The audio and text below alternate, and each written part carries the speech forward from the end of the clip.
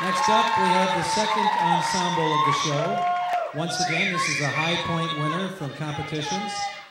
It's a lyrical number. Julie Holscher is the instructor, and Michaela Voss is the dancer, and the song is Peace of Mind.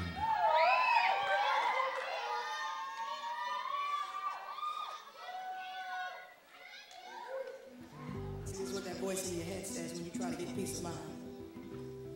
I gotta find peace of mind. I gotta find peace of mind.